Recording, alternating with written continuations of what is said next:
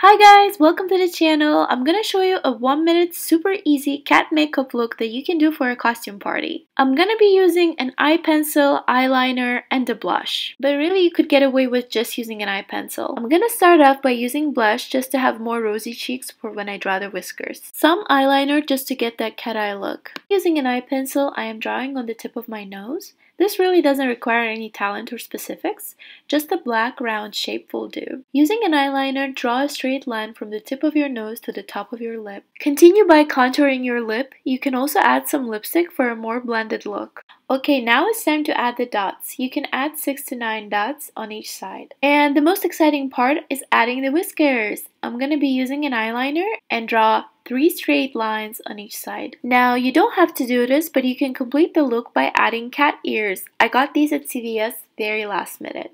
And we're ready to go. Thank you so much for watching. I hope this video was helpful. Bye!